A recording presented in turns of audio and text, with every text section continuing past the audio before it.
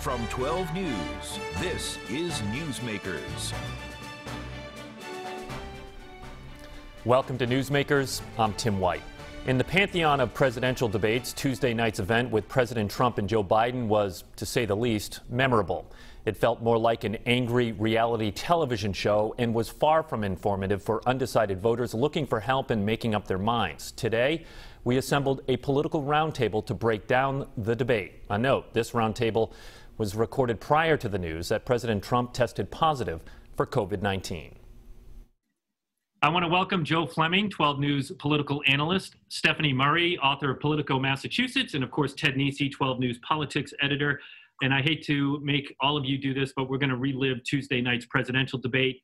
Joe, I, I want to go around the Zoom and I'm going to start with you on this fill in the blank. Tuesday night's presidential debate was what? It was a train wreck, Tim. Clear and simple.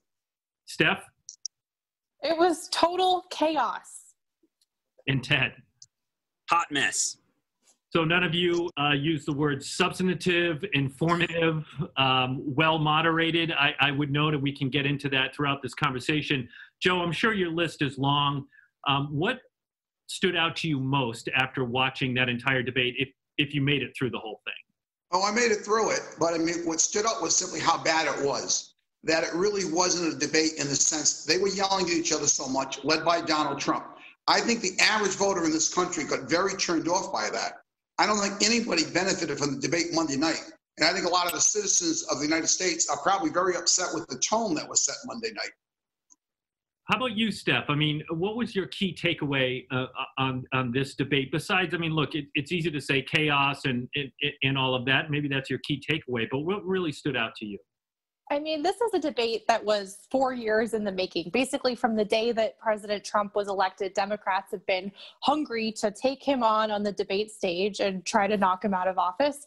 Uh, a record number of people tuned in and what we saw was basically the equivalent of when uh, your friends and family and people from high school are arguing in the comments of a facebook post it was just hard to uh, kind of discern any sort of message from the debate it was confusing they were talking over each other um, you know it was really i think a shame uh, that this long awaited debate was just such a such a mess and I, am just going to stick with you here, uh, Steph. W- with that, you know, I, I, like your point that this is a debate the Democrats have been waiting to have for four years. Um, you, do you think that maybe a lot of Democrats in particular came away disappointed that maybe Biden wasn't ready for how aggressive the president was in, in the debate? That's a great question. What I've seen uh, from you know people talking about this over the last couple of days is that the debate wasn't really prepared the right way, that the moderator wasn't uh, ready for what was about to happen, uh, and that it was kind of unpredictable. But on the other hand, you could kind of expect President Trump to interrupt and to kind of go off on his own on his own way because that's just what he does. Um, what I'd like to see, I think that President Trump, you know, being the person to beat has let Biden not answer some questions about what he would do if he was actually elected and put in office, uh, which I think is kind of uh, a tough point for our democracy. Uh, that you know, it's the whole message is beat Trump, and there's not really as much about what will happen uh, if he beats Trump. What will happen after that? Ted, how about you? Um, top of your list on this one. I know we were texting that night, so I know some of your thoughts. But if you were to pick out one text, uh, what what was number one?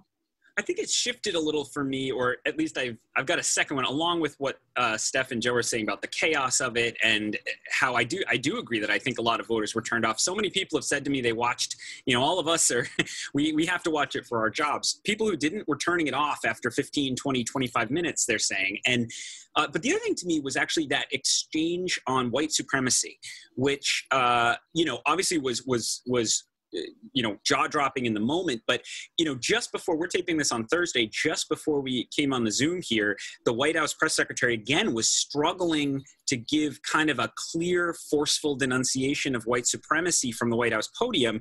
John roberts of fox news went on the air a few minutes ago and just just erupted at people yelling at him for asking the question saying it's an important question. Don't blame the media for this one. And you know along with just the fact of we're talking about white supremacy here, and it, it it's shocking to a lot of people that it's so hard for the White House to distance itself from that. You know, every day that that the news cycle is dominated by a Donald Trump controversy is another day where Joe Biden has protected the lead he has in the polls, if the polls are correct. So it's both not the headlines the White House needed, it's now become a three day story out of the debate. And, you know, when you're behind, you really need to shift the momentum. And with people already voting, they, don't want to wait long to shift it, I would argue, if they want to, if the White House and the president want to come back.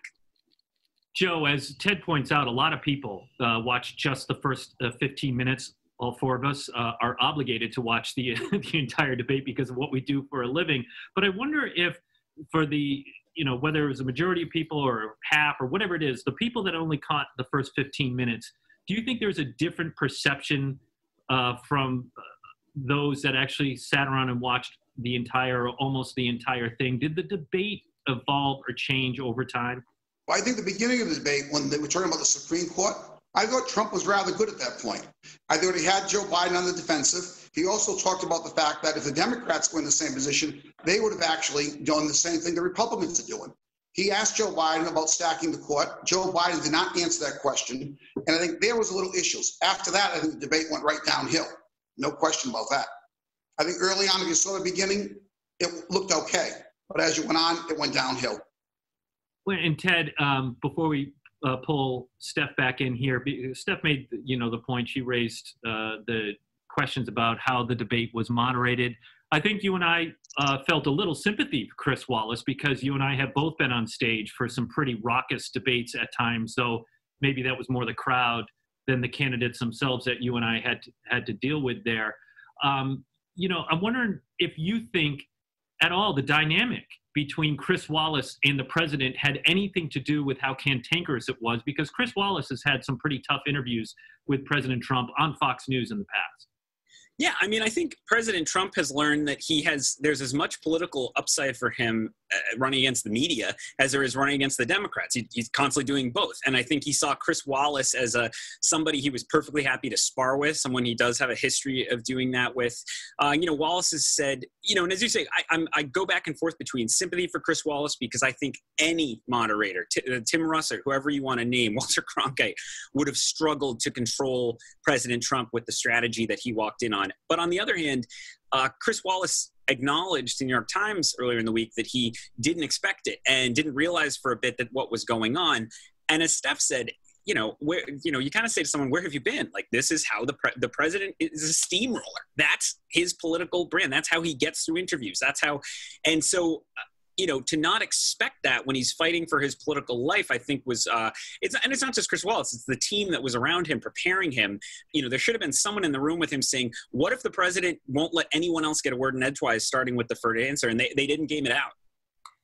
You know, as we uh, record this conversation, there are high-level talks about how to change the format for the next two debates, for the next two presidential debates, and CBS News Norah O'Donnell reported yesterday, citing sources, that there is serious consideration to shut off the microphones.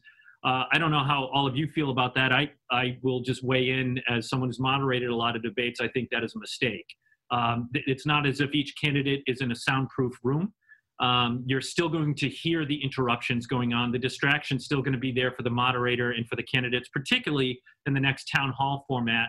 And potentially, uh, the optics could be terrible and could backfire on the commission and the moderator, who I would assume would be the one shutting off uh, the microphone. What's the threshold? How is that call being uh, being made?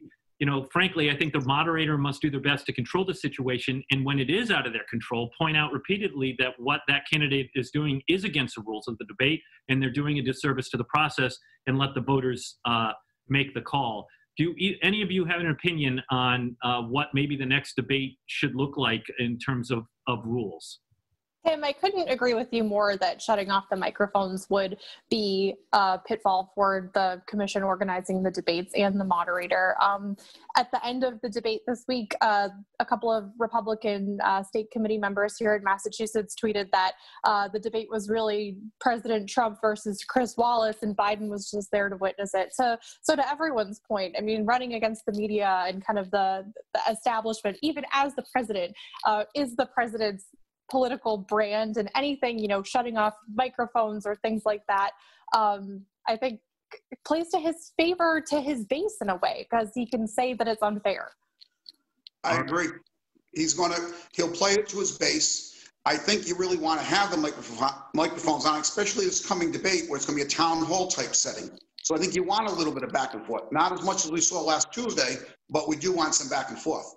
Yeah, and by the way, if if the debate caused, you know, as much as it wasn't the most edifying policy discussion, uh, you know, people, you know, had a takeaway about the president in particular and how he used that debate and what he thought the American people should experience that night. And if people like it, they can vote. I want more of this, four more years of this. If they don't think that's the right behavior of a president, they can vote against him. You know, so that's the other thing. I think, you know, in the end, the, these are the two people nominated by tens of millions of our fellow Americans. And the, the media is not here to protect people who don't like it from those people. There need to be rules, but it's there is a balancing act there. Okay, we have a couple of minutes left. I want to look ahead. Uh, Joe, uh, you know, the polls show Biden is ahead, you know, national poll, poll, certainly not running away with it in the battleground states, up by single digits, depending on where you look. Um, so you could say that the president in those states is within striking distance. What does Trump need to do, or what I guess needs to happen to close that gap, do you think? I think Donald Trump needs to get the suburban voters back. I think he's lost a lot of those. I think his strongest message is the economy. I think he needs to say that simply, we had a great economy. It's gone down because of the virus. But if you give me four more years, we're going to bring this economy up better than it was when it was last March. That we could turn things around, but I need more time because of the virus. I think if he stresses that, he might close the gap in some of those swing states. Keep this in mind, though. In a lot of these swing states, Biden's had the lead for the last three or four months. Trump has not been able to close the gap at all, and there's less and less undecided voters there.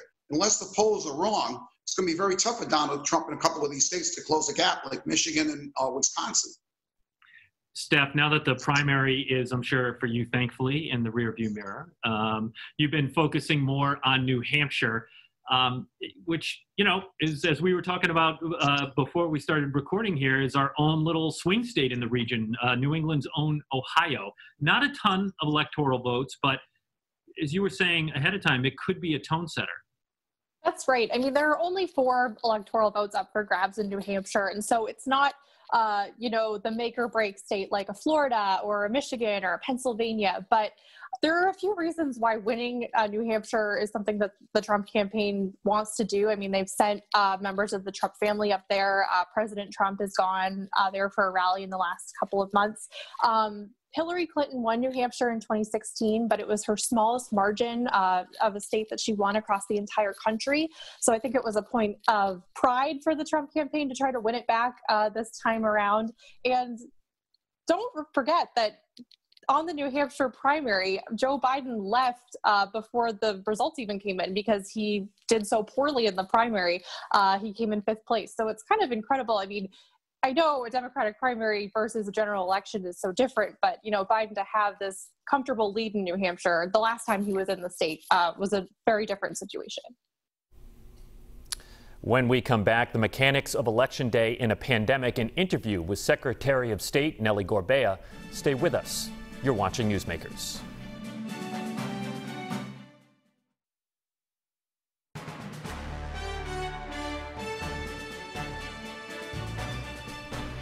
Welcome back to Newsmakers. I'm Tim White. Right now on WPRI.com, our newest 12 on 12 digital original called Atypical Election. We have little more than a month to go until the November election, and this year voting is looking much different. The coronavirus has changed the way the election process is handled. For that project, which again you can see right now on WPRI.com, my colleague Anita Baffoni sat down with Secretary of State Nellie Gorbea. Here now is part of Anita's interview with Secretary Gorbea. So an election is a hurdle in its own right. Sort of talk about, um, you know, you throw a pandemic in the mix. Talk about how the state is sort of adjusting to our new normal in terms of elections. Yeah, no, you know, through this pandemic, uh, our eyes on the prize have been basically to make sure that all eligible Rhode Islanders can and do vote. Uh, that you don't have to sacrifice your health for the constitutional right to vote. And for starting with our presidential preference primary in June 2nd, the September 8th primary, we, each one of those uh, election exercises, we've learned a lot about um, how to manage an election during a pandemic. And overall, it's been pretty good. So I'm feeling confident that come November 3rd, we will have shown the country uh, what an election can be like in a pandemic. Mm-hmm. Um, you know, simply put, what are the options that uh, voters have when it comes to voting in the election? I know there are three different. Uh, so lay those out for so me. there's three options uh, for voting uh, in this elect. But you know, it's interesting because those three options have always been there. We always had mail ballots. We've always had some form of early voting through either an emergency mail ballot or something else. And then we've always had the election day. So these are not new, but we've really publicized them and tweaked them a little bit to make them easier during a pandemic. So you can vote from home uh, by requesting a mail ballot, and every active Rhode Island voter at this point uh, should have gotten an application from our office. Uh, that basically all they have to do is to fill it out and sign it, send it back on the postage paid envelope, that will then be reviewed by local board of elections, um, local boards of canvassers uh, in, in the city or town. And then once they approve it, then we send them a ballot. And the ballot gets voted at home and the comfort and safety of their home. From there, uh, they can either mail it back in a postage prepaid envelope that we include, or they can drop it into one of the 39 cities and towns drop boxes that the Board of Elections is installing uh, as we speak uh, throughout the state. Both are secure. Uh, I feel very comfortable that, that voting from home is very safe and that it will be, that your, your vote, if you're an eligible voter, will be counted.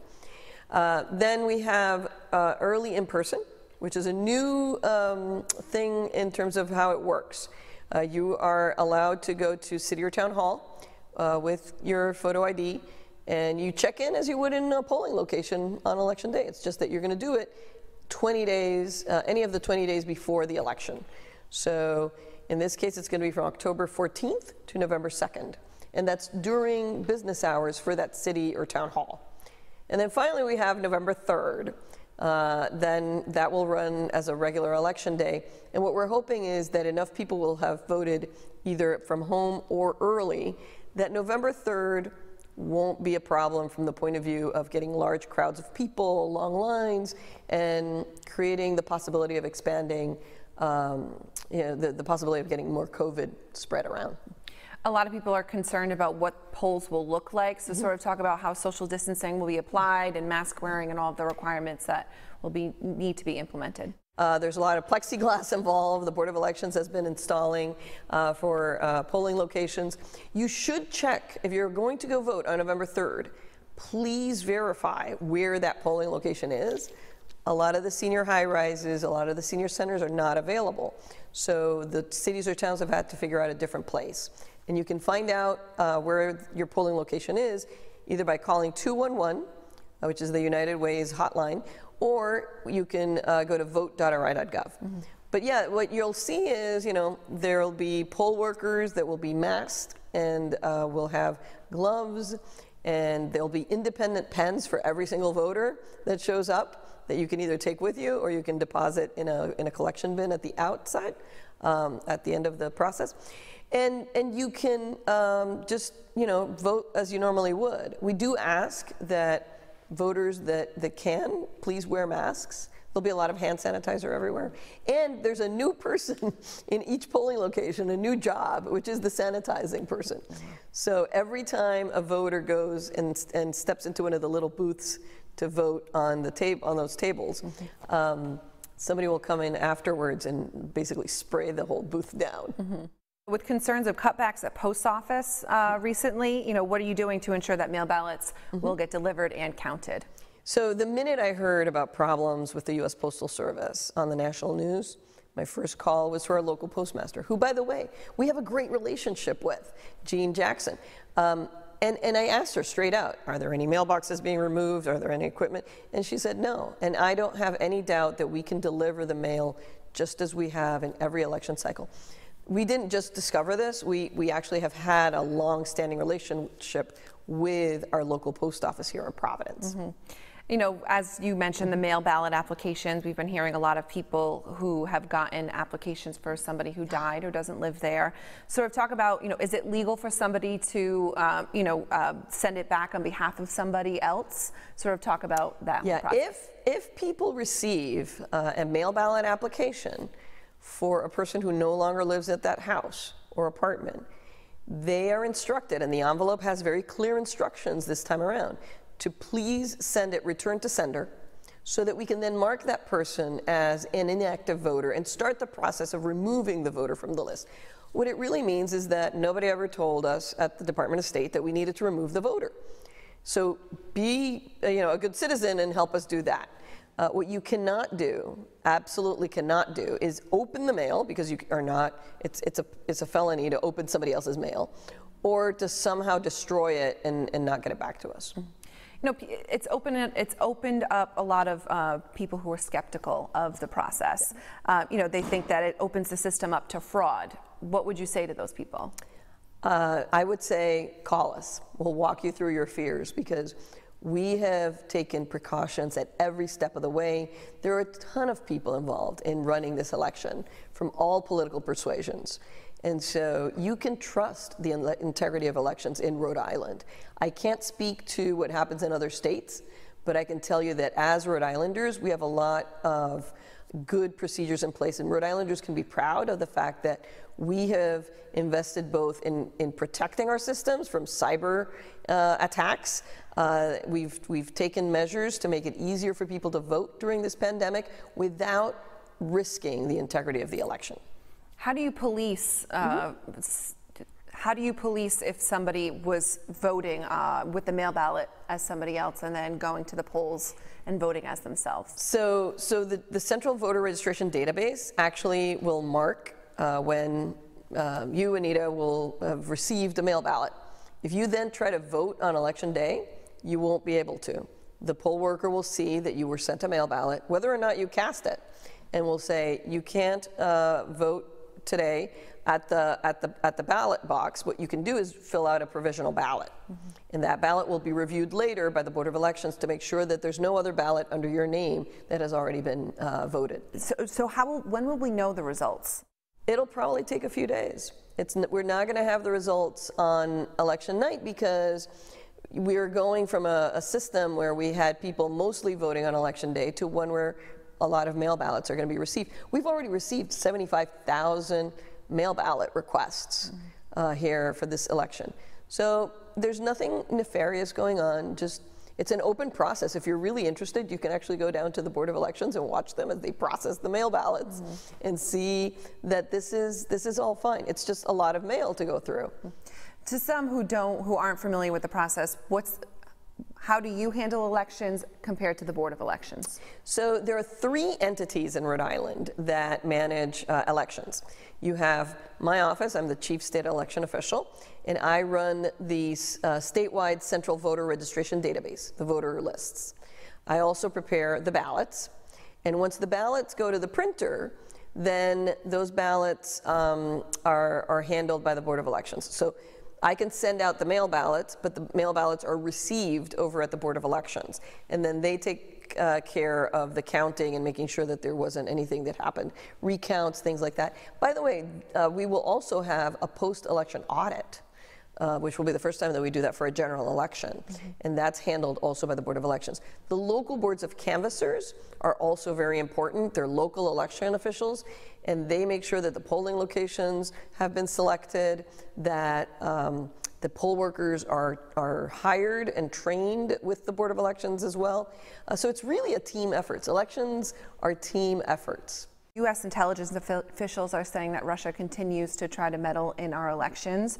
Um, is the possibility of a Russian threat um, on your radar? And if so, what are you doing to make sure that our elections are protected in Rhode Island? Uh, yes, in addition to a pandemic, we absolutely are taking care to make sure that any foreign actor has a really hard time trying to get into our systems. Uh, and that we have uh, mitigations in place. Like, so what happens if they do uh, mess with, with our, for example, our poll books? Uh, we would have, we've already planned out for uh, alternative procedures to run the election. And that's the biggest security that we can have. It's not preventing the attack, as you know, in these, this day and age when humongous global multinationals are being hacked. Uh, the, you know, we might not be able to with, you know, prevent a hack, but we have taken precautions in terms of paper uh, copies and, and software copies and you know all sorts of security that we can't get into um, to make sure that we, we defend ourselves and protect the election. Um, we also are scouring uh, the social media uh, that happens here in Rhode Island to make sure that misinformation is not being propagated by bots and foreign actors, which is another really big concern. And we've partnered with the federal government on this. The, um, the Department of Homeland Security's um, Center for Internet, um, no, Cyber Internet Security Agency, it's a new, a new title for that agency, CISA, as we call it. Uh, we're part, we've got sen- new sensors that, it, that look at all the internet traffic. Uh, we've done a lot to really strengthen the security of our elections on, on the cyber front. We'll see you next week on Newsmakers.